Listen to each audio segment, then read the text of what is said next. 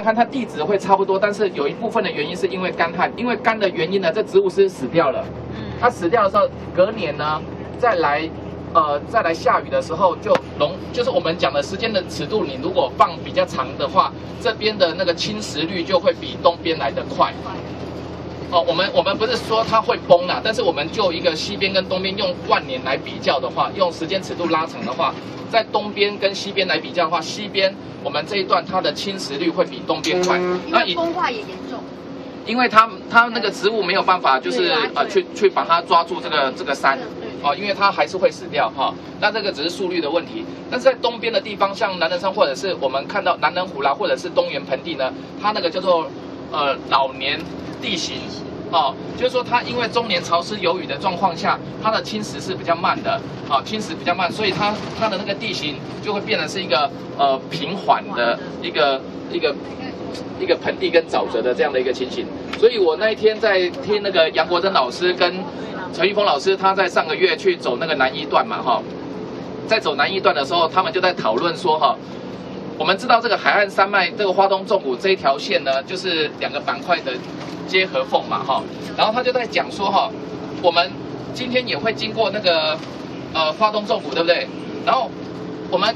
花东不是好山好水吗？哈，花东纵谷不是有很多的呃东西向的叫做峡谷吗？嗯嗯。哦，这个峡谷这样切切切切切进来，然后杨国珍老师就去比对了我们的地形，哈，地形就是山的地形哈，然后他就发现说，如果在花东纵谷的这一条线，哈，就是它的东边是海岸山脉，对不对？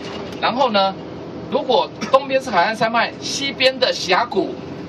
西边的峡谷为什么会有峡谷？哦，对过去是山头，听懂吗？东边是山头，哎，西边是峡谷。那中间我讲的是花东纵谷。那我们就刚刚我们就来比较，这这个是跟我刚刚讲的是有关系的。哦，这是杨老师他的观察，就是因为我们冬天的时候冲吹东北季风，然后因为呢，这东北季风也会受到海岸山脉的阻挡。哦，那哪边会阻挡的比较多？就是那个山头比较大的地方，所以那个地方的水被挡住了，然后比较凹陷的地方水就会灌进去，那以至于说它的背风坡的地方是比较干的，以至于我们在花东纵谷的西侧的这个山区哦，它的降雨是不均匀的，就是它被被山头挡住的地方，这边比较不下雨，然后这边是比较潮湿，然后就变成说这边的话，植物就会怎么样，它的生理就会比较干，啊比较干。我刚刚讲的，如果我们的时间的尺度。不是用人的五年、十年来算，是用拉长了用百年、千年来算的话，这边雨下比较少的侵蚀的速度会比下雨下比较多的来得快，所以他就去看那个这两个山脉之间，就发现有这样很有趣的现象。哦，这是一个。第二个呢，它在往南，就是台东往南过了呃那个海岸山脉之外哈，那可以看到说哈，我们的恒春半岛的。东侧不是都会有小溪流吗？对不对？都有小溪流。然后他说，这个小溪流也很有趣，哦，就是恒春半岛东侧的小溪流的方向是东北季风的方向。那他为什么不留这样子？他就要留这样子。哦，他说我们恒春半岛的那个河流的方向，那个角度每一个都对的是东北季风的方向。